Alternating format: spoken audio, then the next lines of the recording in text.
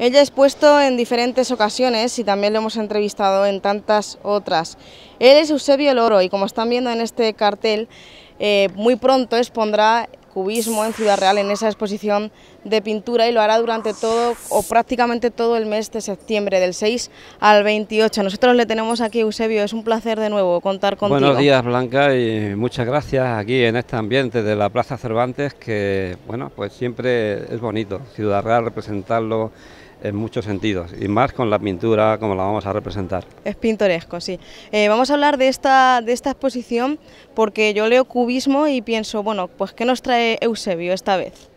Bueno, cubismo es, ya se sabe que es pues, jugar con las imágenes, eh, con líneas, con formas, eh, de, una, de una manera pues desdibujar, ¿no? pero también captar, la, representar la imagen de lo que se quiere hacer, ¿no? pero de una forma más bien aleatoria. ¿no?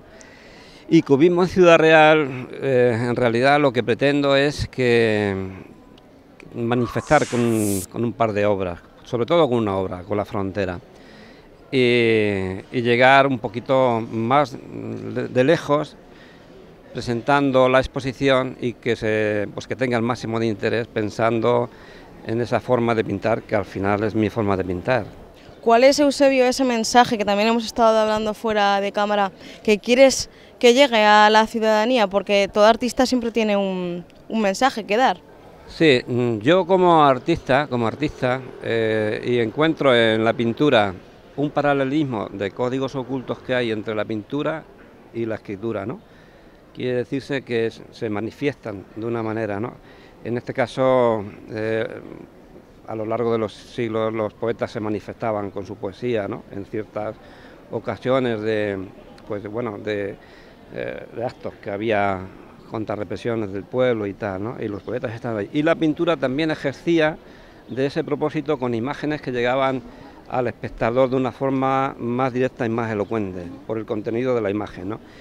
En mi caso, como artista, eh, he pintado una obra que se llama La Frontera tiene, vamos, mide 5 metros de larga ¿eh? por 2 metros de altura, hablamos, es en blanco y negro y es la frontera. ¿La frontera qué es la frontera? ¿Qué nos imaginamos en la frontera? ¿Lo que está sucediendo o lo que nos puede suceder?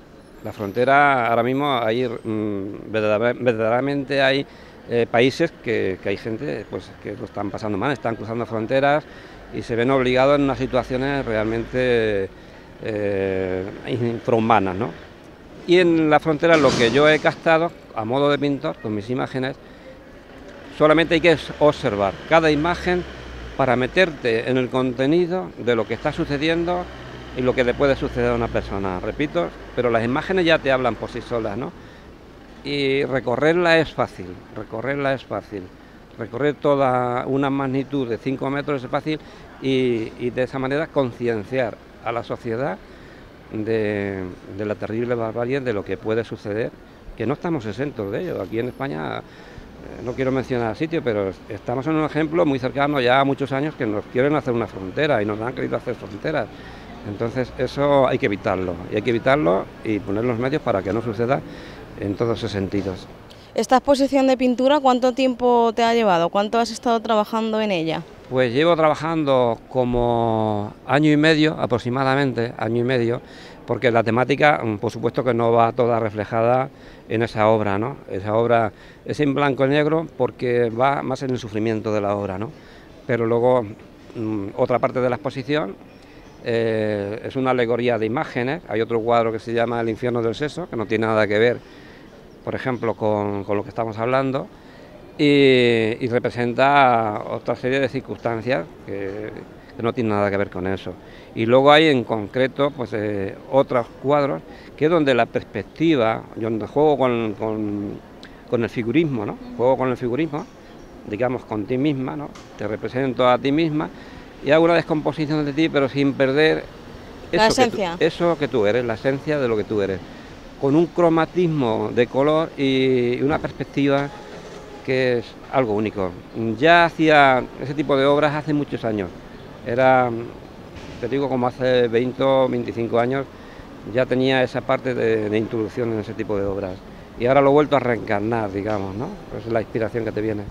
Digo que estarás contento porque lo vas a exponer, vas a exponer en el Museo Elisa Cendrero y para ti me imagino que será todo un orgullo.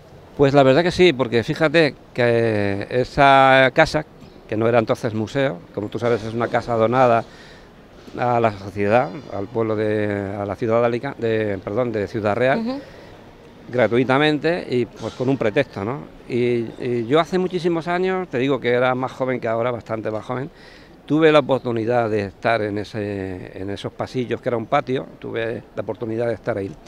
Y ahora, mm, con una buena restauración que le han dado y han hecho un museo bonito, sin perder la esencia de lo que es la, casa, ¿no? Pues la verdad, mm, yo cuando pasé en la primera exposición que hubo aquí en Ciudad Real, donde la inauguraron, aquellas paredes mm, me transmitieron de una forma muy especial, ¿no? Y me dije, digo, aquí tengo que poner yo mi obra. Así que ilusionado porque la verdad es que es una ilusión grande exponer y es un sitio muy céntrico para que Ciudad Real y los pueblos lindantes y la gente que quiera venir se concentre a ver esta posición porque no los voy a dejar indiferentes los, voy a apañar con la visión que yo quiero gastar y no va a pasar desapercibida en absoluto.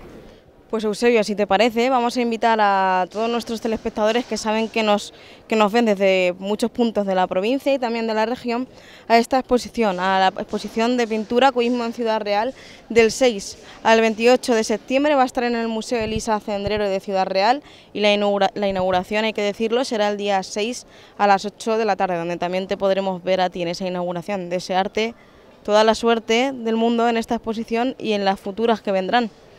Pues yo, igual que dice Blanca, yo muchas gracias por la entrevista que me estáis haciendo, agradecer siempre a Más Televisión por el trato que me hacéis y además por la cómo os involucráis en la cultura.